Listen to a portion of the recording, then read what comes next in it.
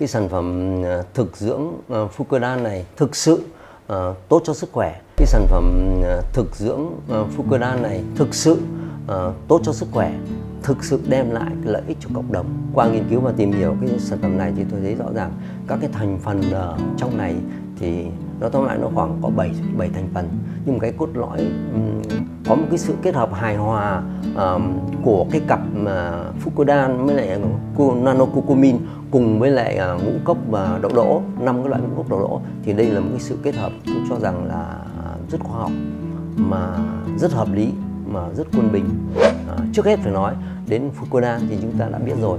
Rõ ràng cái Fukuda là trong cái sản phẩm này có tới 1.500 mg ở trong cái hộp 450 g này thì là một cái cái lượng tương đối lớn, chứ không phải là là ít. Fukuda nó có rất nhiều tác dụng.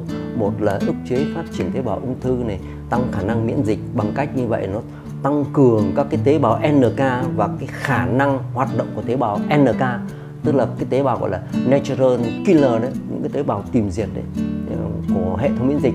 Đồng thời Fukudan nó còn có cái ức chế cái sự phát triển của các cái mạch máu để hạn chế vấn đề phát triển các khối u cũng như là vấn đề di căn.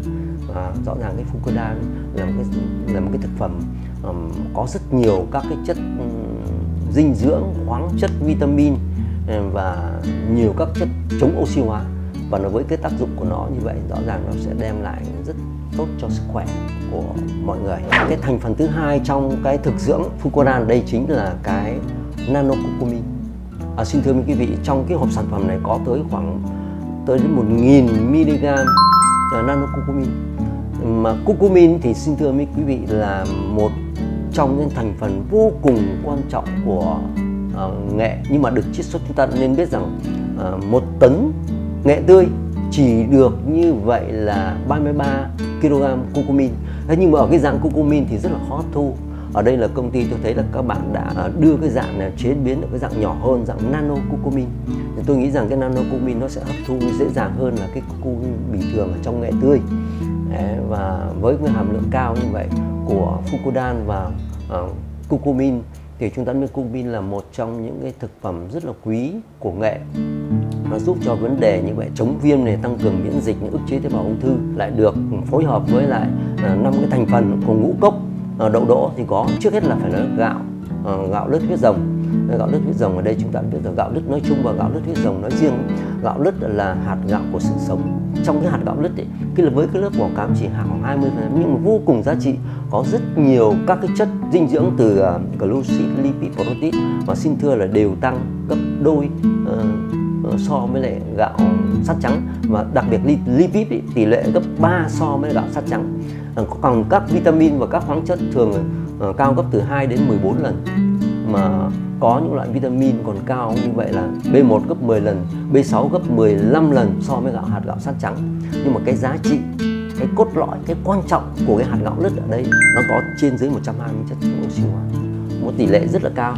Và cái tỷ lệ lớn thứ hai ở đây chính là của yến mạch. Yến mạch cũng có tới 150 gram. Và đặc biệt như vậy là yến mạch ở đây chúng ta đã biết rồi, là một cái thực phẩm mà có thể nói là ờ, nhiều dinh dưỡng và lại có rất nhiều chất xơ để giúp cho ờ, vấn đề chuyển hóa, giúp cho vấn đề tiêu hóa rất là ok và trong yến mạch này có rất nhiều các cái thành phần về để nó giảm cho vấn đề giảm mỡ máu này và đặc biệt nhất là trong yến mạch xin thưa quý vị đối với bệnh tiểu đường mà dùng nó rất là ok. Tại sao? Là bởi vì trong yến mạch nó có cái tỷ lệ chrome ấy rất là cao. Nếu như trong thịt bò 100 mi 100 gram thì chỉ có 3 microgram chrome thì trong yến mạch 100 gram yến mạch có tới 17 đến 18 microgram chrome. Mà chrome là một yếu tố vi khoáng vô cùng quan trọng cho bệnh nhân tiểu đường để giúp cho cái insulin của cơ thể, nó đưa được cái glucose vào trong tế bào và chuyển hóa năng lượng tại tế bào nếu không có chrome thì dù có nhiều insulin bao nhiêu chăng nữa cũng khó có thể đưa glucose vào tế bào. Đó thế cho nên yến mạch rất là tốt. Em có rõ ràng trong cái thành phần gốc ở đây thì có à, gạo lứt này yến mạch này và kê nữa. Kê là một thực phẩm ngũ cốc rất dương. À, và kê xin thưa quý vị có rất nhiều các cái chất dinh dưỡng uh, vitamin không kém gì trong thịt rồi đến ờ, đậu lăng, đậu đỏ. Đậu lăng, đậu đỏ là những đậu rất là dương, người ung thư có thể sử dụng rất là tuyệt vời. Và xin thưa quý vị, trong đậu lăng, đậu đỏ có rất nhiều các axit amin. Và trong đậu đậu lăng có tới 480 microgram folate axit folic hay trong đậu đỏ cũng có tới 460 microgram axit folic. Và chúng ta biết rằng axit folic vô cùng quan trọng.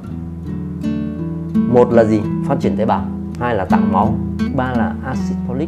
Còn như vậy là chống các cái bệnh ở những người phụ nữ mà mang thai bệnh do cái yếu tố bất thường của thần kinh ấy, ống thần kinh ấy để khắc phục được cái vấn đề đó.